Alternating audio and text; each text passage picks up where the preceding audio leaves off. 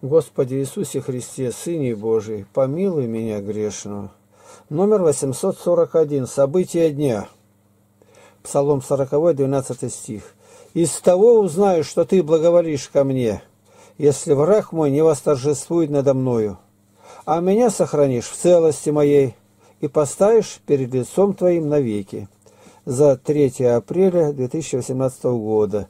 Вот иногда говорят, золотые стихи надо запоминать. А как узнать? Я не могу объяснить, но я понимаю, это ко мне и очень важно. Это в 62 году я первый раз, когда стал считать, у меня, я не знаю, где сейчас Новый Завет, и там Псалтырь уже появился. Я на корабле был в это время. Я считаю, вот я понял, что это определитель. Со мной ли Господь? Враг не восторжествует. Какой враг? Сатана. А если человек верующий был православный, потерял веру, ушел в секту, он что может сказать-то? Ну да, там хорошо, ни поста, ни креста, ни поклонов.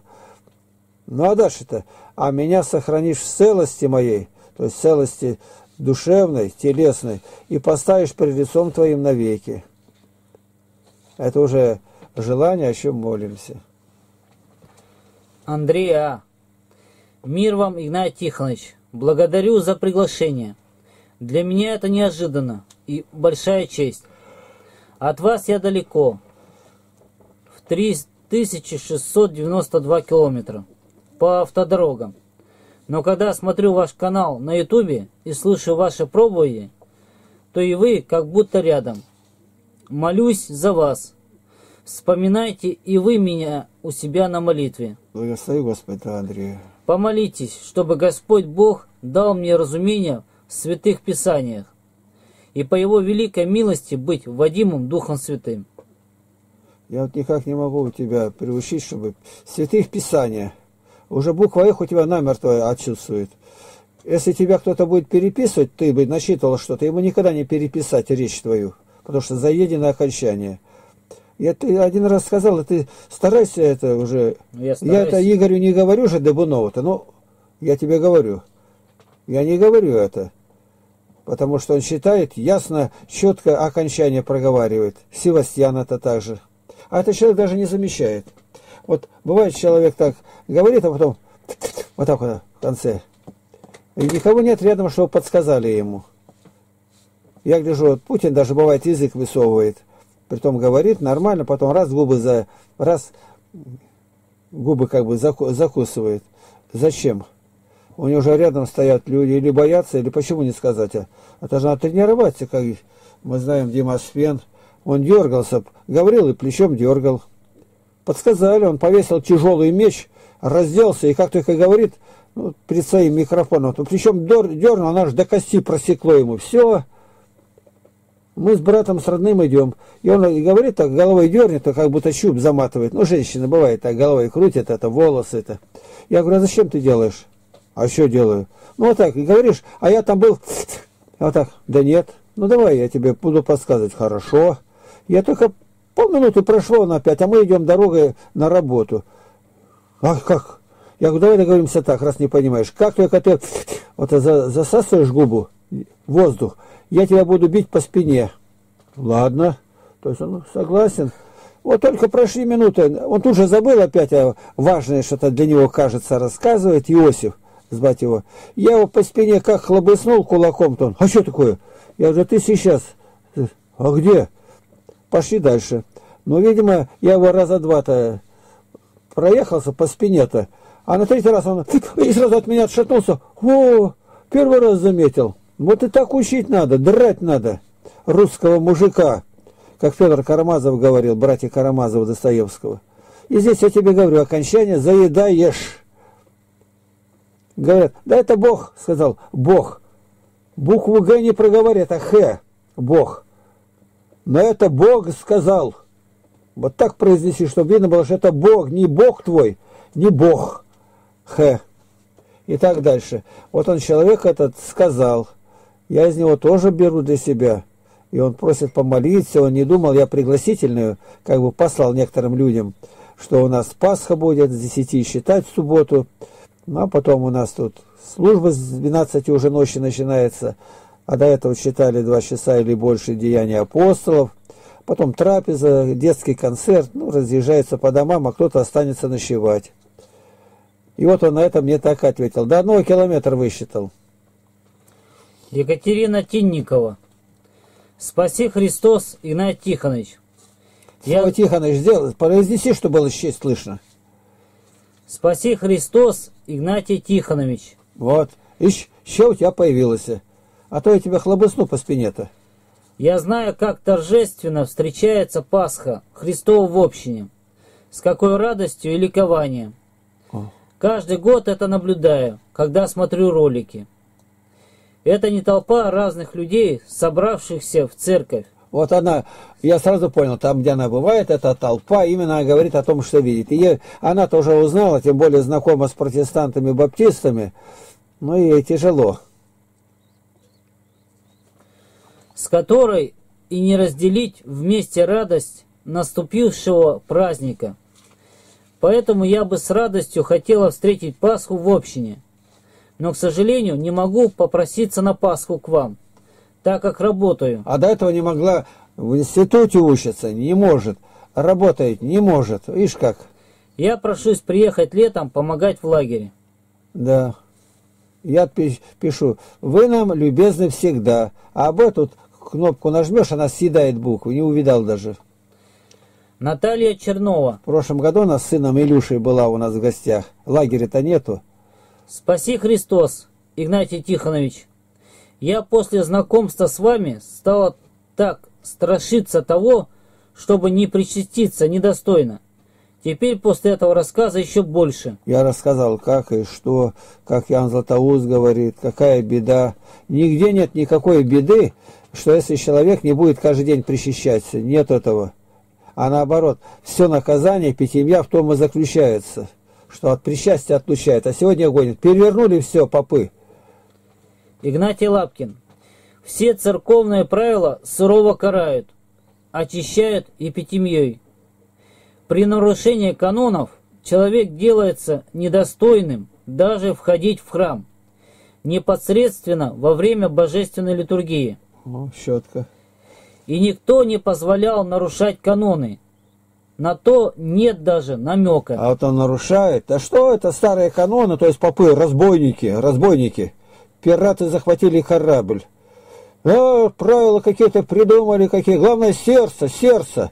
Значит, те полторы тысячи епископов, которые были на соборе, это без сердца. И придумали новое слово «экономия». Экономия. Экономия они не умеют, тратят в один день все. А то экономия, то есть послабление. Кто нуждается в этом послаблении? Ни на дорогах, нигде. Вот и сейчас, а, ну, сгорели ребятишки-то в Кемере там какой там центр у них, я не знаю, как они его называют, театральный или какой центр-то. Так что теперь, разгорели? Двери убирать будут? Нет, еще строже, на первый этаж перенести. Смотреть, чтобы решеток не было, без старших не находились. То есть еще строже. У нас зять Владимир, и он говорит, вот как только работает на электровозе, машинистом, и как только случится авария где-то в Курске, ну, в России где-то, опять новое, говорит, экзамены сдаем. Ну, замучился, говорит. Ну, у меня нет ни одного нарушения. Ну, закон такой. И вот на меня сколько нападали в лагере. Там где-то не так, на крышке эмаль отскочила. Здесь гибнут. Я понимаю, когда от президента было указание все лагеря проверять, это и надо. Ну, проверили, так проверите все. Они бы сказали, смотри, денег не тратят и гигиенятся здесь, живут нормально, об этом пишут комментарии люди, радуются, веселые, ни одного больного ребенка нет. И вот они, а их 110 тысяч набрали в Роспотребнадзор-то, им надо оправдать, а получают оно ниже. Я получаю сейчас пенсию 8 тысяч, но они же не 8 получают-то. Это 10 дивизий. И у нас все это заснято, и вот как они вели себя. Ну теперь-то уж, и каждый раз там утонули ребятишки на Азовском море-то, Проверка. Теперь мы сделаем не утонут. Утонули еще 14. Теперь сделаем не утонут. Не утонут, сгорят. Так уже сгорели-то 40 с лишним ребятишек. Траур-то не просто здесь где-то, а в других странах, везде, везде несут к посольству игрушки и прочее это. Почему? Ну, что тут непонятно? Великий пост. Согласны? Ну и что? Дети отходили, причащались, говорит. Я сказал, наверное, все неверующие были. Да откуда вы знаете, тут больше половины верующие православные. Тем более, раз знали. И опять заглохло все. Жириновский все сказал, там надо двери открытые, замки эти там менять, чтобы не заржавели. Он, я, говорит, когда где бываю, там, ну, не больше, как на второй этаж, гостиница. А, да, и сразу у него охрана, идут, проверяют. Отступление. Вот это правильно все. Ну, дальше-то Сколько ты не берегись, там все равно умирать-то. А как? Богу довериться. Пришел на новом месте, совершив какой-нибудь канон, прочитай, слава Богу, за все или что-то. А ничего нету. Трепится там про разных-то Герасимов, да все, шут гороховый. Никак не больше. Придворный шут. Ни слова не скажет спасти душу. И самого-то не две тысячи пишут, сколько машин, сколько квартир, и Сколько Матвиенко получает, Валентина? Это страшно сказать. Ежемесячно зарплата идет десятки миллионов. Ну, куда есть столько-то? А мы за свой счет дороги делаем, тут провода проводим. И дальше. Эпитимия. Эпитемия. Эти... Эпитемия, да. Церковное прещение. Наказание для очищения и приведения в чувство. И по слову святого Иоанна Златоуста, если священник не налагает эпитемию для обуздания грешника, он этим губит и себя, и того, кого прежде срока допускает до причастия. И вот женщины-то в церкви-то стоят там больше половины, говорит, на вторую букву алфавита. Без мужей, детей, блудит. Просто ужасно что. И если один аборт она сделала, или она живет в блуде там, от 8 до 10 лет. Я хотел бы узнать, где это сегодня соблюдается. Где? Покажите. То есть попрали все каноны, законы. Какое православие-то никакого нету. Фальшь одна. А у нас соблюдается это. Он даже бороду по, ну, там, подстриг, два года за дверями стоит. Гулял там или что-то еще, тоже два года. Каноны. Каноны попраны. А без канонов православия нету. Главнее развратители канонов и насадители духовного и плотского разврата являются Осиповы, Смирновой и прочие неверующие горе-руководители. Овцы рассеяны, развеяны по холмам и горам. Нет у них истинного пастыря. Исайя 42, 22. Но этот народ разоренный, и разграбленный. Все... Отняли канона у них, он разорен и разграблен. Все не связаны в подземельях и сокрыты в темницах. Сделались добычею, и нет избавителя. Ограблены, и никто не говорит, отдай назад. Отдай назад правила, Библию отняли, люди ничего не знают. На них уже был смерть и бич Божий при восстании. Захария 2.9 И вот, я подниму руку мою на них, и они сделаются добычей рабов своих, и тогда узнаете, что Господь Саов послал меня. Вот Иезекииль 34:20. Посему так говорит им Господь, Бог, вот я сам буду судить между овцою тучную и овцою тощую, так как вы толкаете боком и плечом и рогами своими бодаете всех слабых, доколе не вытолкаете их вон, да. то я спасу овец моих, и они не будут уже расхищаемы, и рассужу между овцою и овцею. И овцею. Там овцой, а тут овцею. Ну что-то овцею-то. Между овцой и овцою. Ударение, это что-то ради овцею. Такой нету. Это что, овес какой? Гордеев Михаил. Экклесиаст, 1 глава, 13 и 18 стих. Да. Читая Экклесиаста, я успокоился этими стихами. О, первое Экклесиаста 13-18. А ну-ка посмотрим. Это, может быть, тоже надо нам утешиться. Первая глава. Так. Экклесиаст 13-18. 13. «И предал я сердцу моему тому, чтобы исследовать и испытать мудрость мудростью все, что делается под небом.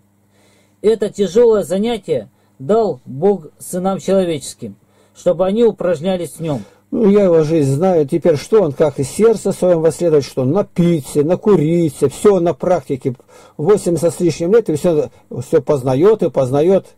Да у тебя мудрости-то какая мудрость-то? Сколько их там жен осталось и прочее. И 18 Потому что во многой мудрости много печали. И кто умножает познание, умножает скорбь. Ни того, ни другого никогда не имел, ни мудрости, ни ничего нету. Но нашел, этим успокоился. Успокоился. Главное, что Осипов одобряет все. Бритый, курить можно, посты не соблюдать. Ничего нет православного-то. Ну вот, успокоился этими стихами. В этих стихах ничего и нет на том, чтобы жил. Дальше. При моей никудышной памяти и склад у Мишка не аналитический. Куда мне? Вот, это уже да, понимает маленько. Как, тут, вот видите, и мы с ним разговариваем, он что попало, колобродит. Я оставил, пошел своим Он даже не видит, что меня это где, чего ждет, а другие. Во, Игнатий он как загнал. А он потом на следующий день говорит, ой, что я говорил-то? А я перед этим полный стакан только водки выпил, говорит, и вылез тут. Полный стакан водки. А потом, чтобы не пропадало, остатки допил. А люди-то, ой-ой-ой, и даже не понимают, что он пьяный сидит. Вспоминаю сейчас беседы на второй строительной в 74 году. То есть сколько мы уже лет и знакомы? Уже 41 год, так? 74, даже больше. Ну, 74, давай добавим. 54. А? 54, наверное. Ну, в 74 году до 2000 сколько там? 26? 26, да. 26 и 18 сколько? 44. О, 44, да.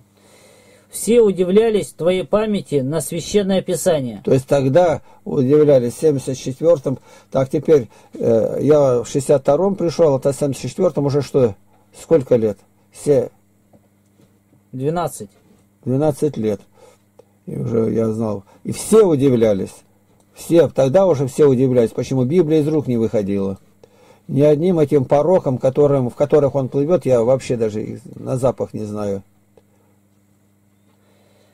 Так, э, ты говорил о богодухновенности Писания. Ни одна черта иота, и я верил, а теперь сомневаюсь. Вот он сомневается. Так это твое дело.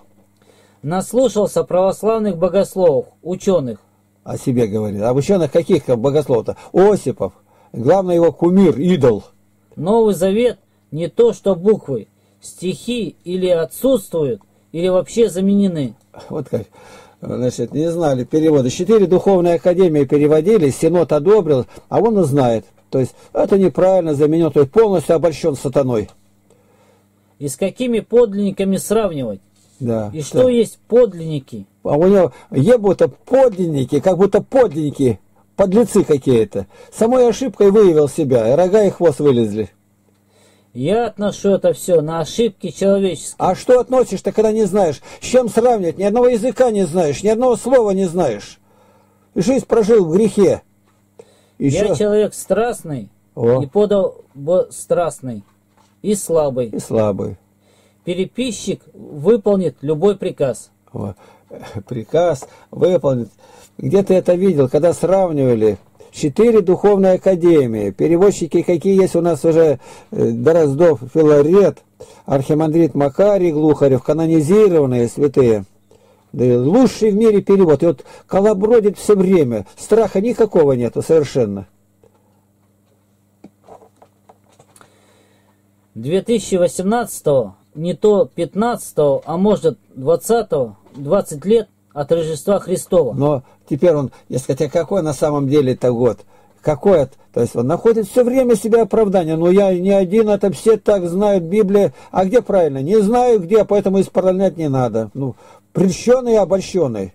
Не, не на дьяволе, как Иоанн Новгородский, а дьявол на нем летает.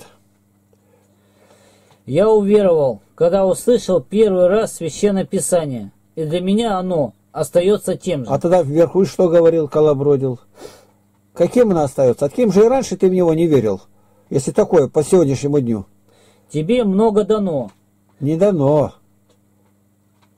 Считай слово. Так она непонятна, я не знаю. Ну, как непонятно? Тебе много дадено. Дадено, да. А что это, слово есть такое? Да, это да. Старинное выражение. Оно даже красным не выделяет его. Да и сам ты архитрудолюбив. О, Народом много учил и продолжаешь учить. С тебя за это спрос будет. вот будет спрос. Кто Мне, учил? я думаю, проще за свои грехи отвечать. А может, это самообман? Все время это червячок тощий. Златоуст много учил, Павел день и ночь. Во время, не во время. С них много спросится, а этот нет, пьяно отлежался, проспался, подрался, пришел, все, получку, дом пропил, прошел, проиграл где-то в тоталитарной эти, э, ну там на лошадиной, на ипподрома или где-то. Сколько про миллионы просадил там. Игнатий Лапкин. Только не потеряй, не сотри случайно. Никак не моги Не всего, моги. Ну не моги, это слово никак не выражение. моги всего допустить. А на Пасху Христову не желали ли побыть с нами ночку с 22.00 в субботу? Потом похристосуемся, трапеза и концерт. Приглашаю с поклоном. За вами заедут, привезут и домой отвезут. Трезво утром, ранним воскресенье. Михаил, благодарствую. Не могу обещать. И в больнице не долечили. И сейчас привязан к аппарату дыхания. Хоббл обострение. Ну что-то там такое. Причина неправильного не- причина неправильно принимал лекарства дома. Врач не от Бога. Не научил, как и сколько, и по времени приема процедур надо было в два раза больше. Вот опять виноват врач, что другое болеет. Что спрашивать, 84 года уже. Игнатий Лапкин. Тут ты получишь такой заряд здоровья, что все твои порошки, таблетки забудешь. Ты вовсе уж маловерующий.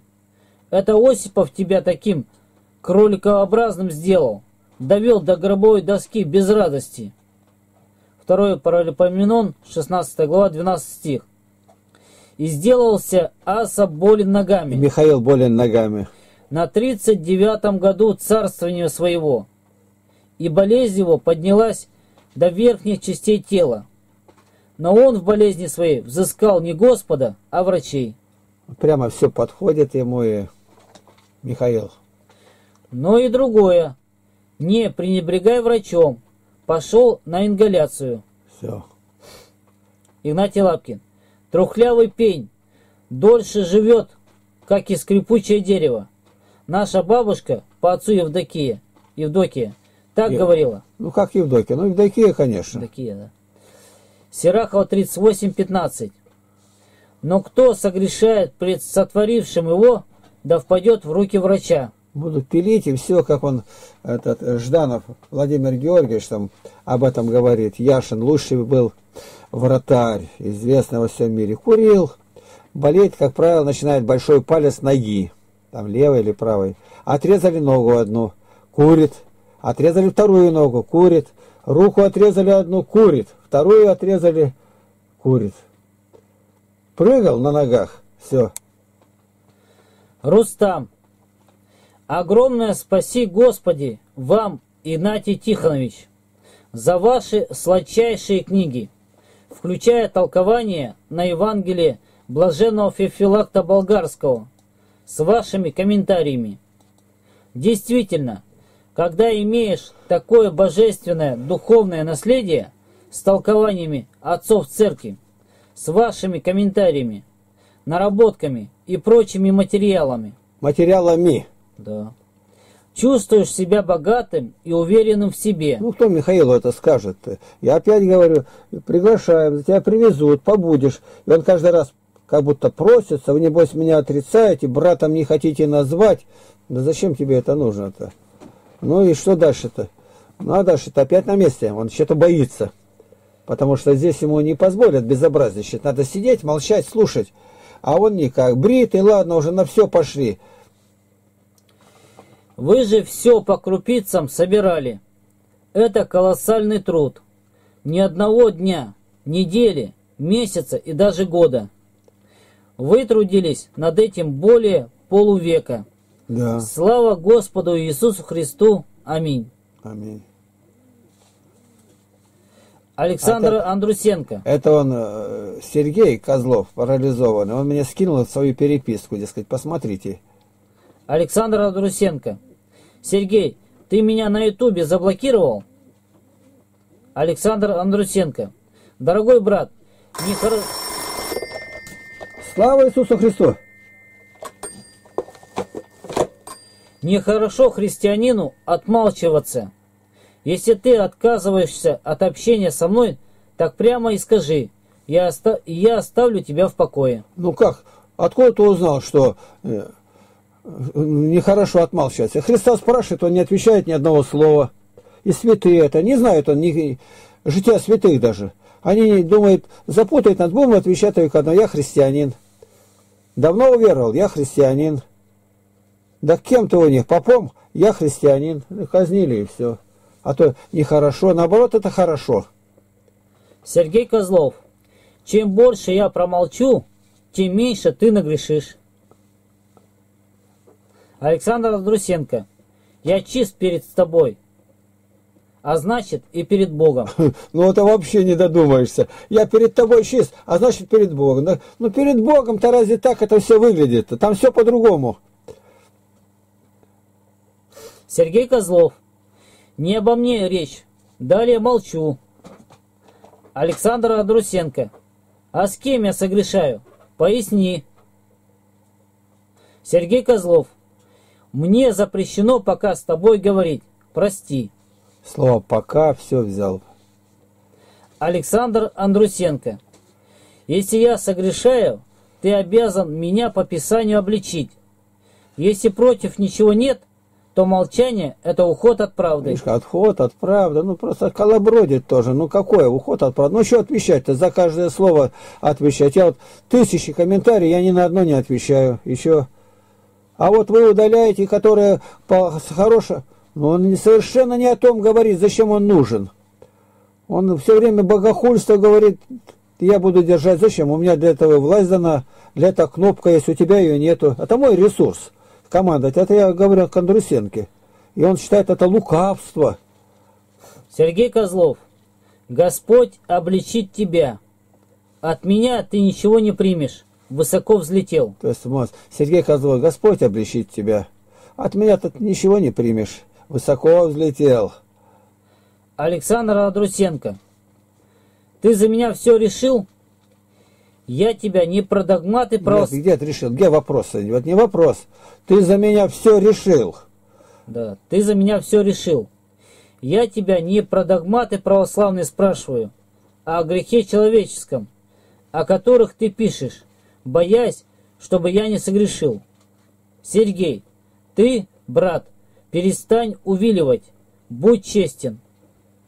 Да ушел из церкви с разными негодяями, с, это, я Андрусенко говорю, сва, то другое, мерзостные просто люди, мерзавцы. На троицу нападают, все богохульничает, и лезут с кем я знаком, они там пакость разводят, и он не видит ничего сейчас, совершенно ослепленный. Ну ты-то кому пристал-то? Ну, Диодор, епископ, митрополит что-то сказал не так, так тебе выше награда, не перенес, то есть не привычен к тому, чтобы говорили с ним, ну, по-другому. Он очень добрый, Александр-то, очень добрый. И там до что-то построил там в церкви, а его не оценили, и он, ну, и заколбасил вот так. Если есть в чем меня обвинить конкретно, по текстам, которые ты удалил, обвини по Писанию. Ну что по Писанию, когда с еретиками знаешься, купаешься, против церкви идешь, тебя обвинять не надо, ты еретик самого худого пошиба.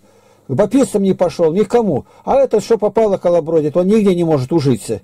Там дмуха, вот эти вот они вместе есть Всякая мерзость к тебе пришло. Подряд все сжираешь.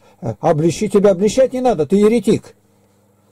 А так ты просто голословно пачкаешь меня. Тебя уже не запачкаешь.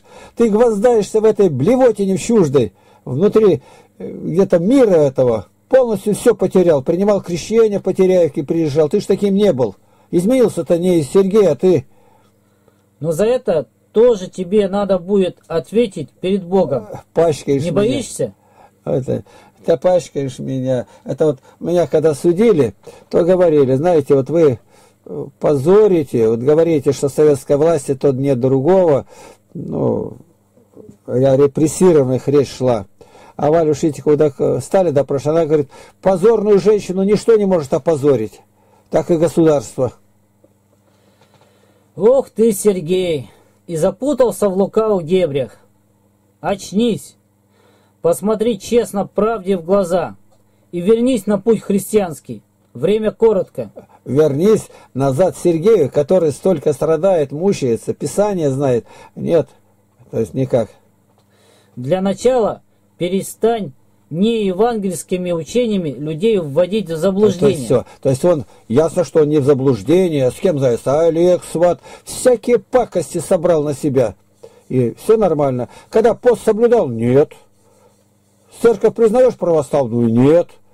Какие заблуждения-то у него, у Сергея-то конкретно ты укажи. А вся церковь неправильно. Ну тогда тебе надо к Герману Стерлигу катиться там, найди этого Славика. То есть ты найдешь обязательно. Примеры эти я тебе указывал в комментариях, ссылаясь на Писание. И, а, да. и еще. Только лукавство заставляет людей оставлять хвалебные комментарии и удалять обличающие. Обличающие, мерзостные, дохлые, ничего этого нету. Обличающие. Да тебя еще обличать-то, тебя обличать не надо, ты вне церкви, а вне церкви ты еретик, с собой разговаривать нечем. В этом ты хороший ученик лукавого, лукавого поступающего. Не Игнатия, лукавого, а лукаво поступающего. Лукавого поступающего Игнатия Тихоновича Лапкина. ИТЛ. Еще раз прошу, остановись. Ты сознательно грешишь.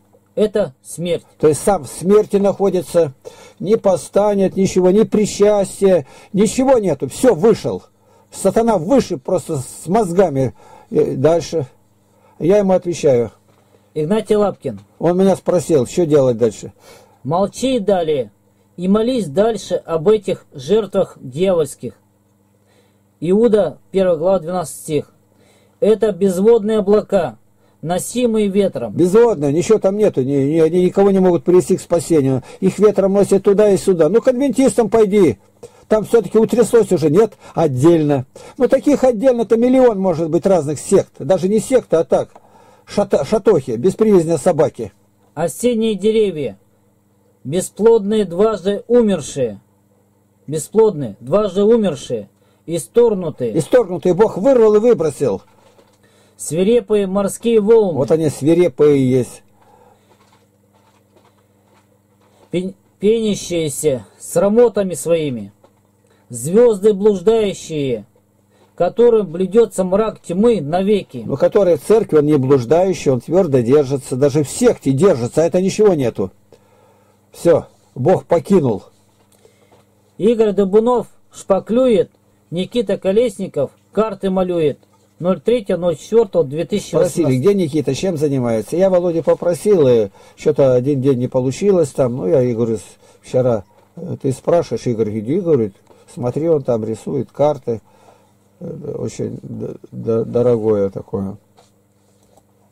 Ну и вот надо показать наши ресурсы. Вот, это мой мир. Я очень не люблю это. Ну, перестала тут система пропускать копировку из Ютуба. Вот, наш большой православный форум. Вот этот самый. И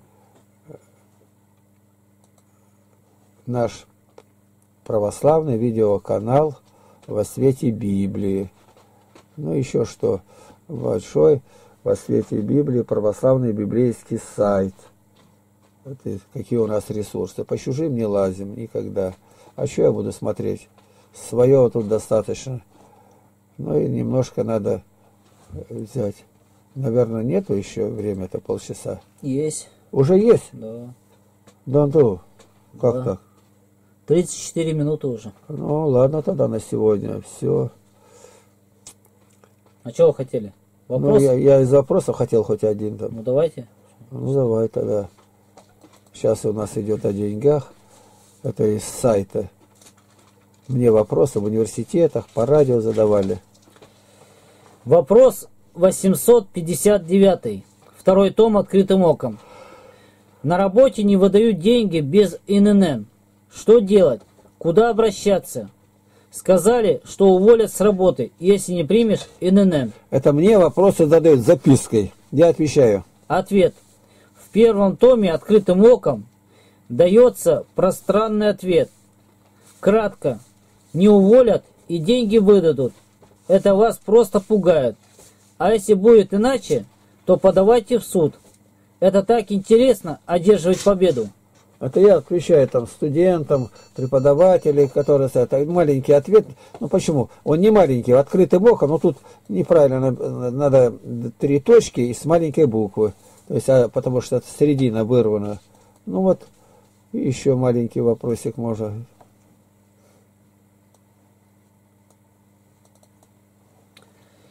Вопрос 861. Второй том открытым оком.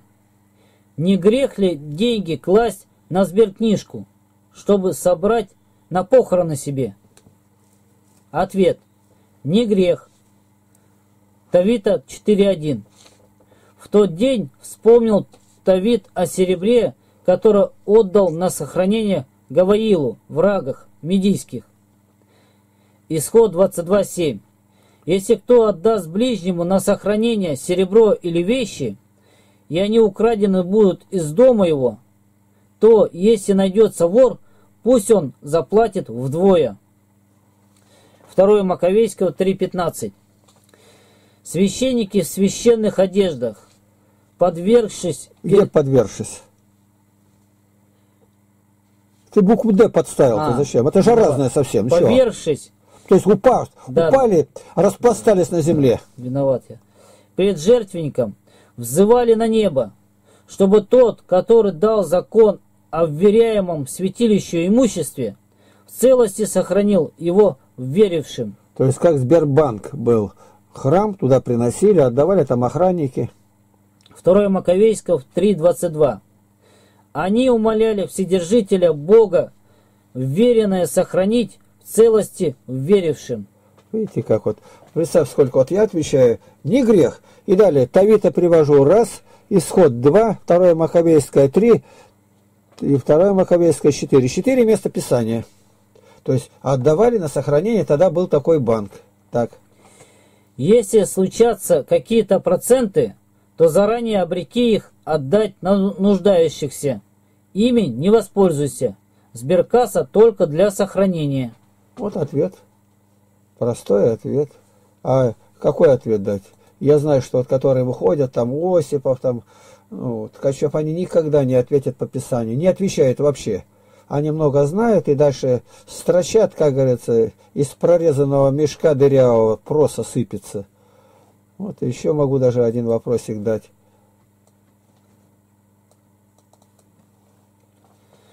Вопрос 1183. Вот заметь, я хотел бы узнать, но я не знаю, ну может кто знает, вот допустим, много ответов дает там Осипов или Смирнов.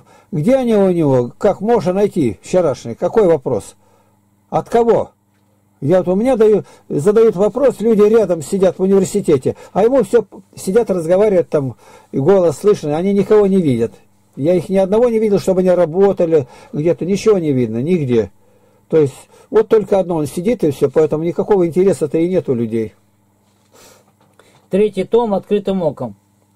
У нас с братом возник спор о плате налогов государству. Я говорил, что государство грабит, а он говорит, что надо отдавать все, ничего не утаивать. Объясните, по Писанию, сколько надо платить? А если на базаре торгуешь, надо ли регистрироваться и платить грабительские налоги.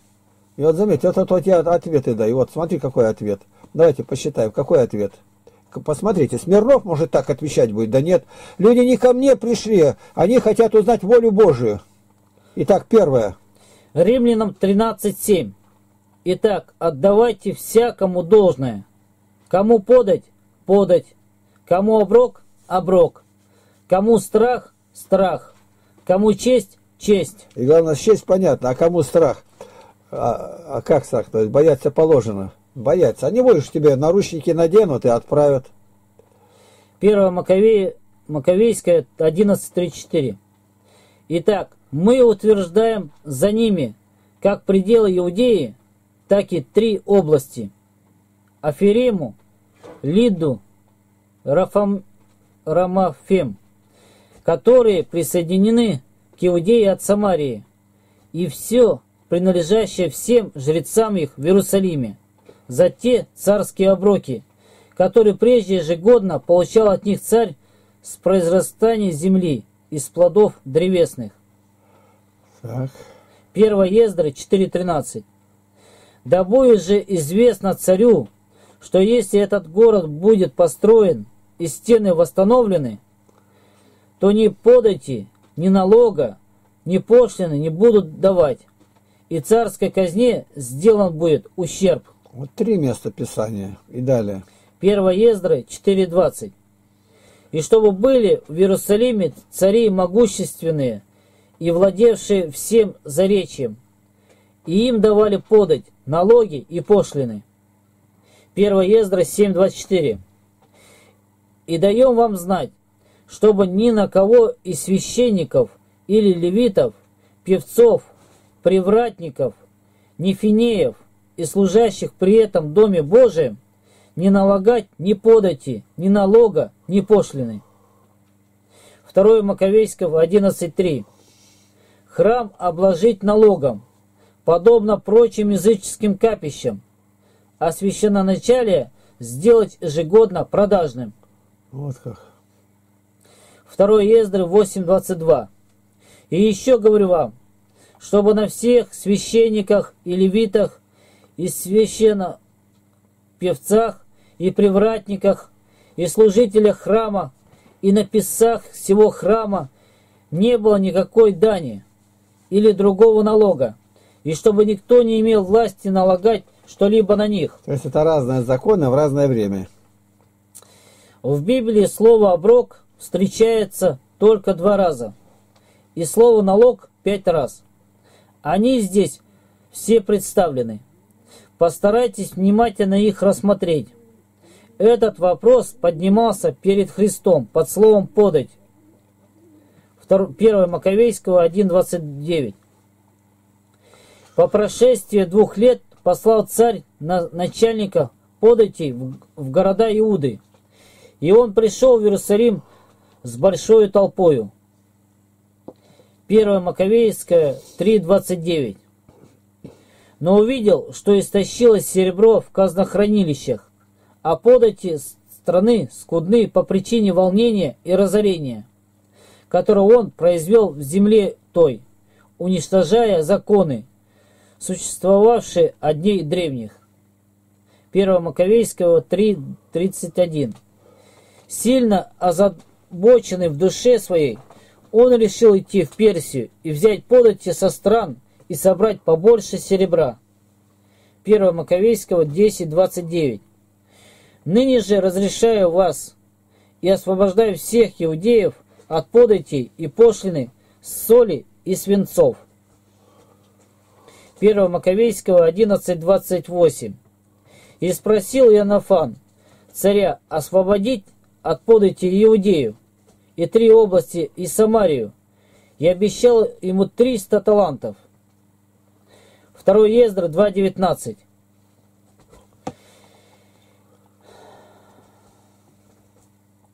Итак, если этот город будет отстроен и стены его окончены, то они не только не согласятся платить подати, но и восстанут против царей.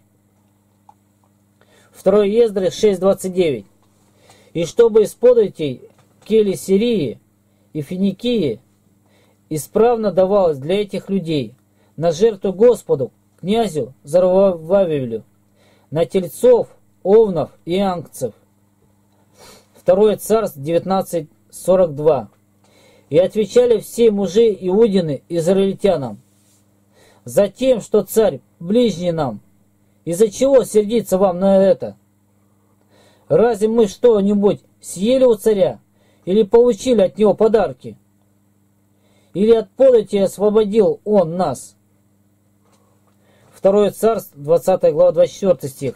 Адарам над сбором податей и Асафат, сын Ахилуда, дееписателем. 1 Ездра 6.8. И от меня дается повеление о том, чем вы должны содействовать старейшинам тем иудейским в построении того Дома Божия. И именно из имущества царского, из речной подати, немедленно берите и давайте тем людям, чтобы работа не останавливалась. Неемия 5.4 Были и такие, которые говорили, мы занимаем серебро на подать царю под залог полей наших и виноградников наших. Матфея 17.25 Он говорит, да, и когда вошел он в дом, то Иисус, предупредив его, сказал, «Как тебе кажется, Симон, цари земные с кого берут пошлины или подати? Сынов ли своих или с посторонних?» Матфея 22, 17. Итак, скажи нам, как тебе кажется, позволительно ли давать подать кесарю или нет? Матфея 22, 19. Покажи мне монету, которую платится подать. Они принесли ему динарий. Луки 23, 2. И начали обвинять его, говоря, мы нашли, что он развращает народ наш и запрещает давать подать кесарю, называя себя Христом царем. Римлянам 13 глава 6-7 стих. Для сего вы и подати платите, ибо они Божьи служители, сим самым постоянно занятые. Итак, отдавайте всякому должное, кому подать – подать, кому оброк – оброк, кому страх – страх, кому честь – честь. Фараон всю власть отдал прекрасному Иосифу – человеку глубокой веры и справедливости, и он наложил на весь Египет налог. Бытие 47 глава 24-26 стих. Когда будет жатва, давайте пятую часть фараону, а четыре части останутся вам на засеяние полей, на пропитание вам и тем, кто в домах ваших, и на пропитание детям вашим. И поставил Иосиф в закон земли египетской – даже до сего дня. Пятую часть давать фараону, исключая только землю жрецов, которая не принадлежала фараону. Левит 27.15 Если же посвятивший захочет выкупить дом свой, то пусть прибавит пятую часть серебра оценки твоей, и тогда будет его. Левит 27.19 Если же захочет выкупить поле, посвятивший его, то пусть он прибавит пятую часть серебра оценки твоей, и оно останется за ним. Левит 27.27 Если же скот нечистый, то должно выкупить по оценке твоей и приложить к тому пятую часть. Если не выкупят, то должно продать по оценке твоей. Числа 5.7 То пусть исповедуется во грехе своем, которую они сделали, и возвратят сполна то, в чем виноват, виновны, и прибавят к тому пятую часть и отдадут тому, против кого согрешили. Что сверх 20%, то это не от мудрости правителей и не на пользу народа. Христос не отказывался платить налоги, и когда не было у них с собой ни гроша, то пришлось подождать, пока Петр выудит золотую рыбку, вернее, с золотом внутри. Налоги надо платить, это однозначно. Ну а если они грабительские, как сейчас в России? Угу. Люди научились тысячами способов не все отдавать мытарям, налоговым инспекторам. Нам заповедано быть мудрыми, но не хитрыми. Если возможно с вашей стороны то постарайтесь это сделать. Освободиться. Не платить свыше 20%. 1 Коринфянов 7.21 Рабом ли ты призван, не смущайся. Но если и можешь сделаться свободным, то лучшим воспользуйся. Но только никогда, нигде, ни под каким видом не допускайте лжи ибо всякая ложь от дьявола. Евангелие от Иоанна 8.44. Ваш отец дьявол, и вы хотите исполнять похоти отца вашего. Он был человекоубийца от начала и не устоял в истине, ибо нет в нем истины. Когда говорит он ложь, говорит свое, ибо он лжец и отец лжи. Это, кажется, первый стих, который я заучил наизусть. В житиях святых описывается случай, когда христианин решил воспользоваться льготой при купле-продаже, то есть уменьшением налога на базаре, какую мусульмане давали своим единоверцам. И он оделся в их одежду, но обман был обнаружен, и он претерпел мучения. Можно жить, прожить, и просто так – налегке, шутя, как говорится. Пролететь через жизнь, как тот сквозняк, ни за что ничем не зацепиться. Мимо всех пройти, как, как ни при чем, не прила, и не приласкав, и не обидев, не задев ни мыслью, ни плечом, словно не заметив, не увидев. Может быть, так жить и хорошо, Меньше, мол, и горечи, и боли. Только что же станет, станется с душой, с мыслями и чувствами и волей?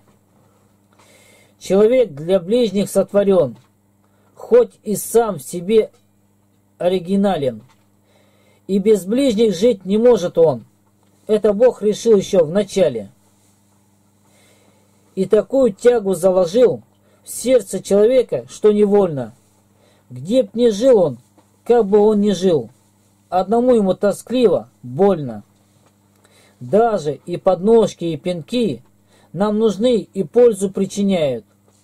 И о том, что люди нам близки, неизменно нам напоминают. На душе неизгладимый след нам оставлен каждой новой встречи. Друг, друг прошел здесь, родственник, сосед причастив к семье нас, человечий. Есть еще и совершенный путь, беззаветный ближнему отдачи. Только им немногие идут, да и не для всех он предназначен. Там идут два поприща, когда только об одном их попросили. Грош последний могут там отдать, посетить не только на могиле. Там падение ближнего – беда, чистого сочувствия основа. Для святого спорого труда. Там друг друга поощрять готовы. Нам же еще нужно дорасти до того святого состояния. Нам хотя бы только не пройти мимо наших ближних без внимания. Только через жизнь не пролететь, налегке, шутя, как говорится. Никого с собою не задеть, ни за что ничем не зацепиться. Вера Кушнир. Вот нам что это дано и что мы это взяли. Ну, на этом я считаю все на сегодня. Да, да, точно. А так вот один спрятался, монах сидит где-то, он над ним как раз и исполнится это. Вот там Надежда Васильевна щебарничает что-то.